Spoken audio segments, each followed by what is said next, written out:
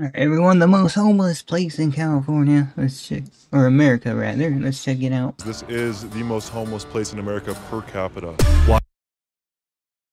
Hey, bro. Washington, D.C., where prosperity meets power, where history mingles with modernity. To outsiders, the city may seem to be the example of achievement and opportunity.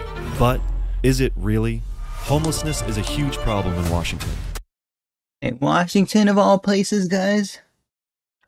I keep watching news and there's always news reports about like the homelessness where I live, but I did not know Washington, like literally Washington, where there's Washington D.C. Guys, like what is going on?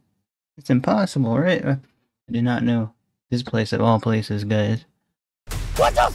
a crisis of homelessness. Do you think DC's doing a good job of combating the issue of homelessness? Wasn't the mayor just given $50 billion to deal with the homeless situation? Where's that money? This is a very good system. You just have bad players in here. Bro. One second, guys. Uh, I apologize. Bad players in here. Guys, I've been homeless for 11 months. If you watch my previous videos, and it was not fun. That's all I'm saying.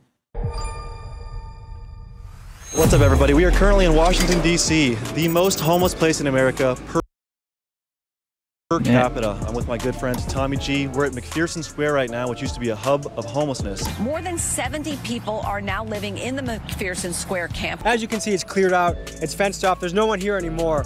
But recently, this was a tent city. Today, Legit tent city. dozens Yeah, they always like clear out areas, then we gotta move somewhere else.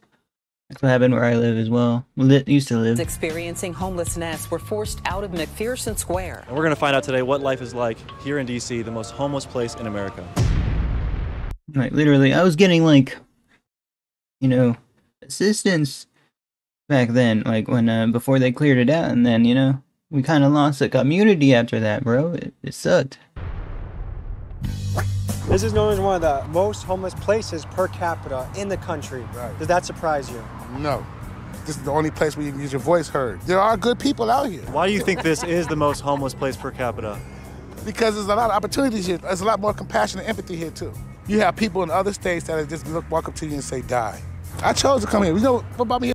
Yeah, man, I experience, you know, in California rather. There's a lot. There's empathy, but there wasn't empathy. That's all. You know, it wasn't the nicest place, but it wasn't the worst place. It was just like both. Let me turn this light on.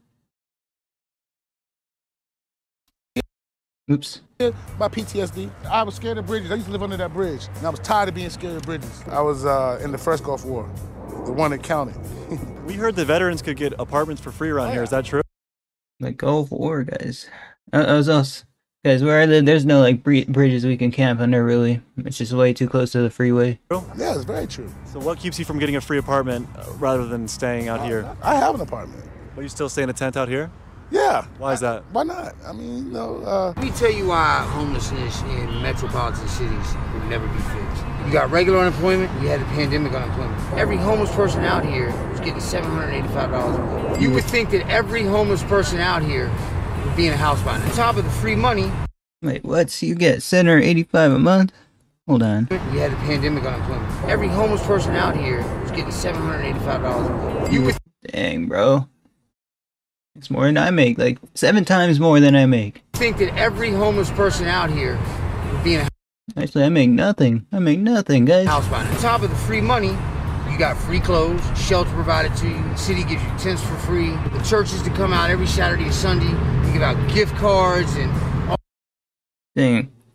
The church, uh, church never gave me gift cards. They give me money though occasionally. all these things, right? 90% of that is dispersed, goes back into drugs. We're homeless by Not gonna lie, that's what I spent my money on back then. choice. Next, we spoke to a man who had been living in Fort Reno Park but was recently displaced by the homeless camp cleanups. on December 16th, And they straight up came there. They annihilated. They told everybody to leave. They threw everything away, guys.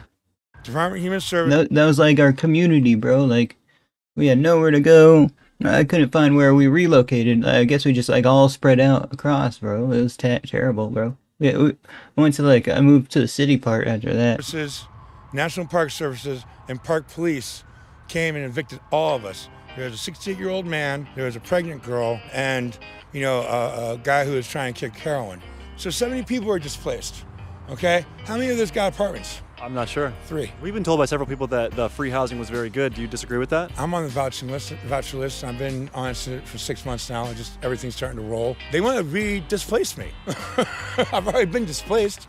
They want to displace me even more. And, and the question remains: Where are we supposed to go? With nowhere to go, many homeless people sought shelter within tent cities, hidden in the woods. Behind me right now is probably the closest thing to a tent city that we found. It's pretty camouflaged by the trees and the brush. It's hard to see from the road. It's hard to know this would even be here. We have uh, several tents layered with tarps. We got big five gallon jugs of water right there, coolers to keep things cold. And right here, you have a baseball bat. I guess you could assume this could be for protection. And it just keeps going back. Laundry bins. If found, please return to Amsterdam Hall. Over here we have a scooter that is being used as a laundry rack. You gotta get this message out. You know, it's not just you know they're, they're thinking that if you close down an encampment, okay, one, where are the people gonna go? Okay, two, look at the messes they made of the encampment closing so far. NoMa, they killed someone. In the NoMa neighborhood, city crews were clearing tents there when people on scene say a Damn. Yeah, dang, bro. Like, I used to sleep next like to a dumpster, and this, and this like the the guy that like you know cleans up the dumpsters came out of nowhere, man. And he uh he lifted it up while sleeping behind it, guys. small bulldozer started to clear a tent with a man still inside. They don't know where half of those people are. The government relies on Miriam's Kitchen What's up, Padre? and other private organizations like uh, Georgetown Ministry, you know, to to to do the uh, Padre, I, I don't speak Spanish. Sorry. heavy work. Wasn't the mayor just given $50 billion to deal with the homeless situation? Where's that money? Affordable housing is now a reality in, in today's economic society. I mean, and they say get a job. Okay, I'll get a job. My problem is keeping the job. you know, I mean, honestly, you know, it's not just society. Yeah, sorry, don't speak Spanish. Not much. Society's also me. We're the voice of the What's up, LKZ? city. That's the reason why they're trying to get rid of us, and there's the reason why there's people helping us. There's the reason why it's so hard to get rid of us. To some people, it seems like an issue that might never be solved. What do you think about that? Well, they, those people, they need to take some iodine and some ginkgo biloba. Any Guys, what is that for? What? I I haven't heard somebody talk about iodine since like Alex Jones, man. misconceptions about homeless people you'd like to clear up? I don't know what Ginkgo Bildo does. Yeah, they're not all drug addicts. Or I'll tell you what, let me change that. Y'all got a lot of fucking nerve calling these people drug addicts when y'all do sugar, when y'all drink milk. You like sugar, you like milk. Those are dangerous drugs. Dangerous drugs. We're the only species on this planet that drinks another species' milk. Just remember, jealousy is only corrupted admiration. What really needs Yeah, he's true. He's he's right there, right there. to be talked about is this Trank situation. The Trank, I learned about that in Kensington, Philadelphia. It's coming down here into DC oh, now. Oh, yeah, it's in DC. And just as soon as they mix Trank with that boot, there's going to be dying. and Department of Human Services wants to worry about me living in a camp. You know, why don't you worry about what's about to happen? The tsunami of shit that's about to happen. Why is the media not covering the opioid epidemic and the Trank epidemic? Not, not only can you not That's what are you talking about? even get heroin anymore, you can't even get clean fentanyl anymore. You know, and the thing about Trank is that it's they're like, oh well, you can use Narcan. No, you can't. It's not opioid. The thing about Trank is that there is no counteragent. What is something that 'Cause I, I've never tried. I only tried fentanyl once, and I'm never trying it again, guys. it could be done um, to help uh, the, the homelessness situation? Like, are there any solutions? I know it's not an easy solution, but are there any solutions? No. I'll be here to catch you when you get here. Everyone's just a paycheck or two away, right? Right, right. It's not just a mental health thing. It's I like GTA 5. I, I haven't played it. not just a, a Not that much. person's lazy. It's not just, you know, it's any a, a convolution of crap can just happen, and you find yourself out here. We the richest poor people because you have organizations out here. Like right now, at four o'clock, Miriam's. They have gourmet chefs that make food for uh for the homeless. Right now, we're on our way to Miriam's Kitchen. We're going to see if we can catch the. Uh, Guys, when I was homeless, all I did was get like money, get it to me, and then I would um go and buy like Wendy's. Wendy's was the only place that let me shop there, guys. Only place. dinner rush there, I suppose. How do you shower out here? Uh, well, there's places that some places that give showers, like uh, Georgetown Ministry. I don't think I showered one time, guys. Not all. Only time I showered was when I went back home. Take a shower there. I go to the swim. I go to the pools. The street noise. How do you sleep with such loud noise right by you in the middle of the night? You zone out. What came first? Chicken and egg. Do I get Okay, I, I will uh, check it out after this video. fucked up because I'm an addict, or I get yeah, those those cars are scary. There's quite a bit of like scary cars. am I an addict because I'm out here? You know. We arrived at Miriam shortly after they had closed and spoke to a man about the dangers of getting caught up in this system. You know, the biggest shelter in the world is what? The biggest shelter in the world is what? Welfare. Because you in a place. I personally think there should uh be a universal like basic income, guys. Not gonna lie, that that would help us all out. you cannot own. And then you in a household where there's a parent missing. So the last two weeks out of the month, there's no money, there's no food. Because some states don't have pantries where you can go get groceries. Just because you give a sandwich out or buy a bite, that's not helping. But a shelter is built for you to stay in there. Because after 90 days, they're supposed to put you in a place. But And we used to have a shelter and they closed it down, bros. they don't. Even when you ain't there, they getting paid for that bed. As long as your name is in the system. How do you think drugs get to the hood? The government bring it. Because they want you to die instead of getting your money. And schools need to change their system. Because schools don't teach you responsibility when you are go- going through high school to be an adult. They teach you how to fail, man. The system is created to fall. It takes the young Are my kidneys healthy? I think they are. Some people like y'all they sit at a table with ideals that's going to make things work. If you had one wish, what would it be? that no children or elderly would be outside. Right now, there's more children and more grandmothers on the street right now.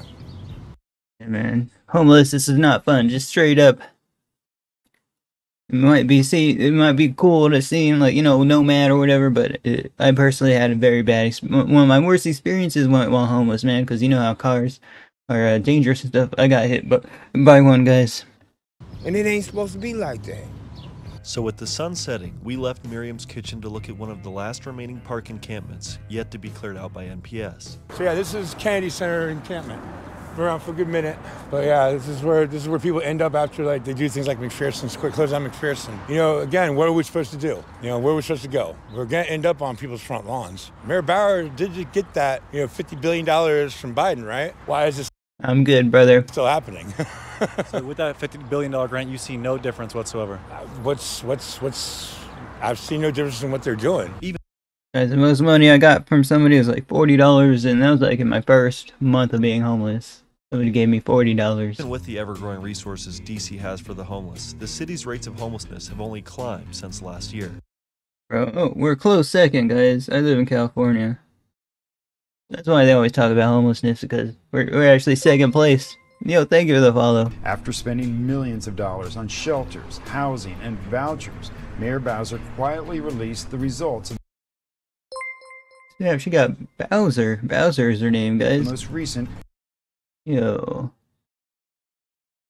PDR, LKZ, thank you for the follow. point time count for those experiencing homelessness in the nation's capital. For the first time Uh, I'm good, brother. since 2016, the number of people living on the streets has gone up. Is there any avenue for the homeless out here to make money? Does panhandling work? What, what are the what are the alternatives? Remember we were talking about this living in four different standards, dude. How do you save for money when you're living in a day-to-day standard? Right. Guys, you gotta buy your water. Unless you can find like a fountain or something. Actually, there there was one fountain, one fountain that was on the side of this building. You know, when you're living day to day, how you how you plan for that? Because you don't plan for your future if you're living like that, right? If you don't have a future, why plan for it? That's sad. Isn't it though? If you had one wish, what would it be? That I wasn't here, you know, that this wasn't happening, but it is, and I am. Uh, I don't know what those are. So making the best of it. That's what you can do. It's all you can do. God bless you, brother. All right, man. What were your takeaways from today, Brandon? For the general population, clearing places like McPherson Park seems to uh, help the issue of homelessness, at least topically, right? But then when you go into these uh, harder to find areas, you see that the homeless people are still here. They're just not in plain sight. So I guess that leaves the viewer to decide, like, is that good? Is that bad? I think it's good for the general population, but a lot of the homeless people seem to think it was a bad thing. If, if we get dip- displaced from uh, the places that can help us, such as businesses, we're gonna have to walk farther to and from those businesses, and that kind of sucks. I think it's one of those issues that if this was happening in front of your apartment building, in front of your workplace, there's feces, there's needles, you want it cleared out. I think that's undeniable. And anyone that says different, I, I also agree. invite people over to live in your house and see how you feel. But the fact is, this is an issue that will never go away. As tough as this issue is, this seems the best way to handle it that I've seen so far. So I applaud Washington, D.C. I'm thankful we got to meet some of its citizens and people, and they got to tell our story. And um, I'm happy that we got to have this experience. And if you were happy to watch my recent collaborations with Tommy G, commemorate the experience by buying our Most Dangerous t-shirt collaboration, available right now at thebuckinghamshop.com. Cool. Check them out, guys. Doesn't really matter what I do, cause I'll always stay stuck as a fool. I'll never be cool. Don't get Alright, guys, that's a video. Thank you guys for watching. Oh, snap, he's got some Patreons. The only issue I have with their videos is how short they are. And we just need quality. You know, what they say you can only have you can have quality but not quantity. Or something. Uh, editing growth from I'm the man to I know, right? I will go through the same transformation, guys. If not, you know, still be doing my reactions. That's fine, though. Thank you guys for watching. Peace out. I do all my reactions live on Twitch, so if you want to come say hi, you're more than welcome. Later, guys.